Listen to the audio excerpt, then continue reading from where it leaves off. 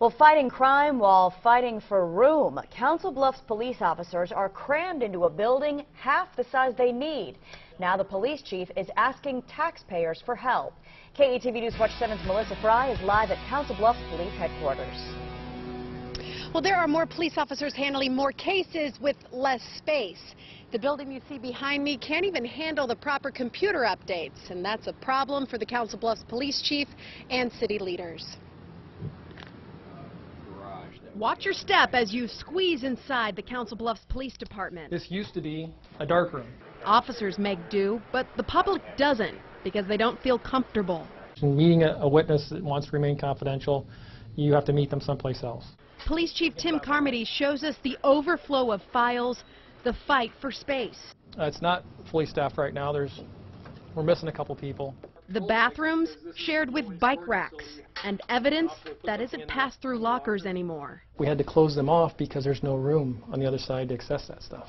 Chief Carmody has one example after another. The squad room we have downstairs, you may have someone on one side of the table processing evidence and somebody else on the other side eating their dinner.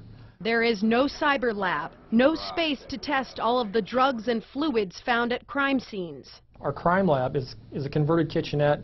That's where Casey Gisler works. But if there are more than one suspects or victims, we have to prevent cross-contamination, so we can use that for some of it, but the rest of it we have to put either in this smaller uh, cabinet that you can see or on the floor. We put a lot of butcher paper down, and we're very careful. Without compromising the case, Council Bluffs police officers go out of their way in an inefficient way to do what we ask them to do more than a thousand times a week, respond to the public in need. Well, now Chief Carmody says they are in need of new space, and Mayor Matt Walsh supports that request. Now's the time to move forward.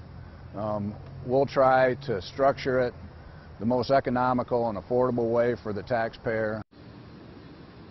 Tonight, Council Bluffs City Council is meeting to discuss this issue, possibly hiring a firm to assess the needs of the police department and what they would need for a new building. Of course, that topic, that issue would go before the public and would need to be approved by public voters. Reporting live at the Council Bluffs Police Department, Melissa Fry, KETV, Newswatch 7.